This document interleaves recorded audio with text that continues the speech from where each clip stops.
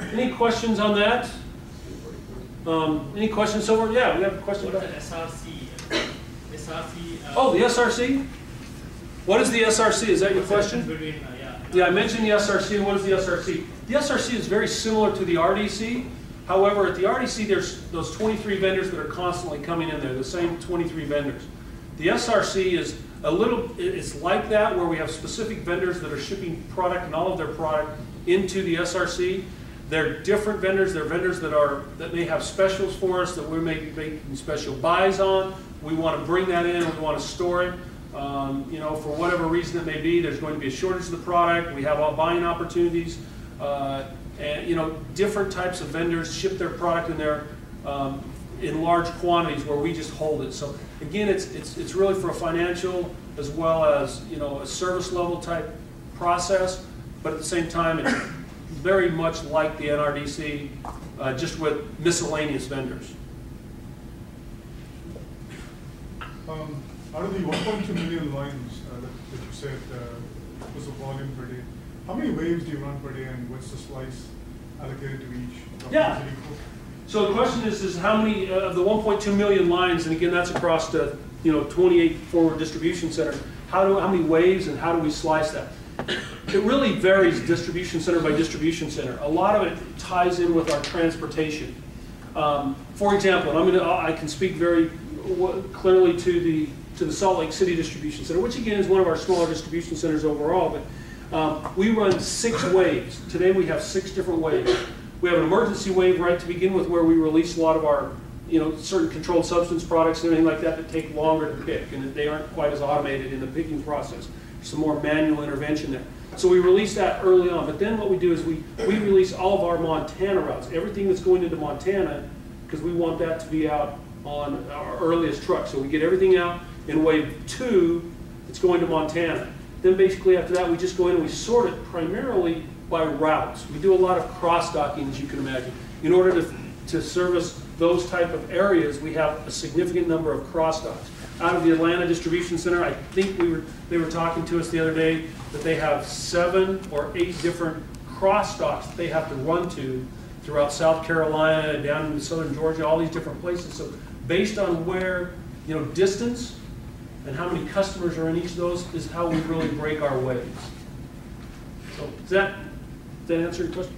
So, I I mean, some distribution centers, I know when I was working in the Landover, uh, Maryland Distribution Center a few years ago, they went, they had up to 11 and 12 different waves that they had.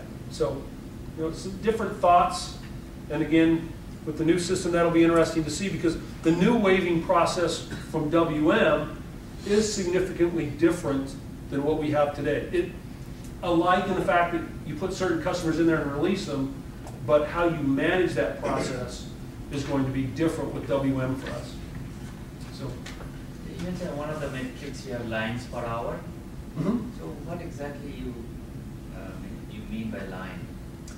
A, a line is, is, a line, great question, I, and I probably should mention, what is a line? A line to us is any, on an order, an, a pick order, if you're a customer and you order, let's say, three items, three separate SKUs, when we release that, there are, that would be three lines. Regardless of how many pieces, there would be three lines. Three SKUs were released. So that would be three lines. So we, and the way we measure LPH, what a line is, is picks, receipts, and returns. So if we bring in, so that was a pick example on the, on the receiving side.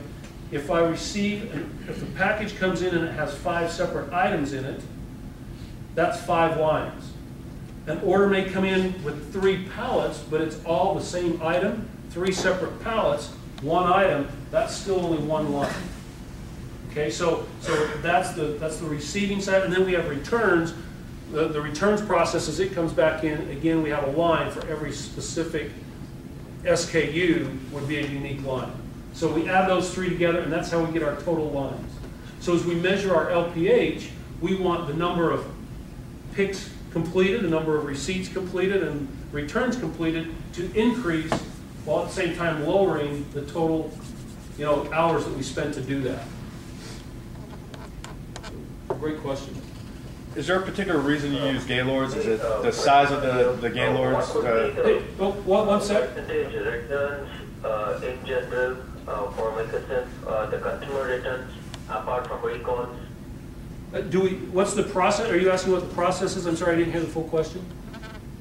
Um, The percentage returns, Oh. like when we look at the overall sales, what would be the percentage returns that come from the customer directly, leaving out the recalls?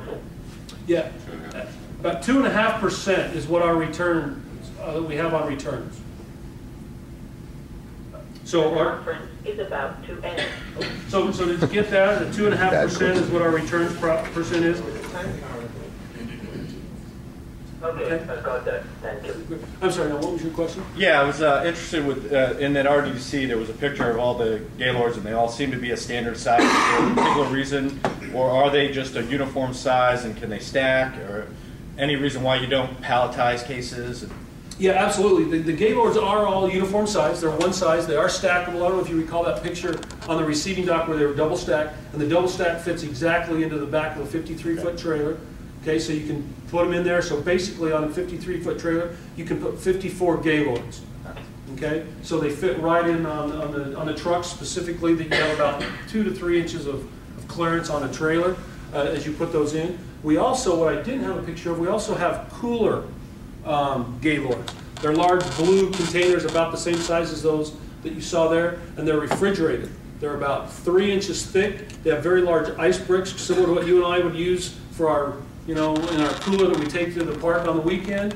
Um, freeze them, put those in, and they will actually maintain the, the, the temperature from the Memphis distribution center all the way up into Seattle, Boston, some of the farthest out spots uh, you know, for up to 48 hours. And trucks on that usually only take about 24 to 30 hours to, the, to our farthest point. So, so those are stackable as well. They're a tad smaller, but um, there are occasions where we where the RDC will use pallets, um, but typically we can put more product into the uh, into the Gaylords. Uh, and so basically, it's how much product can I put into a Gaylord to maximize my space Yep. in the truck. Some would say, well, if it's already on a pallet, why do I want to unpalletize it only to stack it into a, a Gaylord? You know, and again, that's part of the pick process, so that takes place out on another part of the warehouse. But on occasion, we will get a pallet of product. So, and, and they do come in from the RDC, but typically it's in Gaylords. Another question. I Hmm? you explained it and I missed it, but these POs that are coming from vendors, uh, they have a destination as your uh, RDC. So you have or orders being moved from vendor to RDC. And all your outbound is from forward DC to different customers, probably through cross-docks or things like that. So how does, what, how do you track the movement from RDC to the NDC? Are those POs or Go ahead. orders? Go ahead, No, I mean, it's still a PO process, so I mean, it's more automated because they're both McKesson facilities. But the FDC, based on, um, you know, again, using SCORE and everything, uh, orders will be, I think it's more automated, correct me, Oh, it's, yeah. but it's an automated process that SCORE will go in and know what the Atlanta Distribution Center sold through, and then place that order back to the RDC, and Atlanta's getting six day a week RDC delivery, so they're getting it on Saturday as well. So they're getting a truck from the RDC every day to backfill. But it's another automated PO in our system and picked using Acumax just like any other system. To the RDC, a forward distribution center is another customer. So since it's internal, we can up, always, we can up, up, up the, the quantity to full cases. Right, so, you know, as opposed to an automatic order system, you would use, say, if I need thirteen pieces, it's gonna order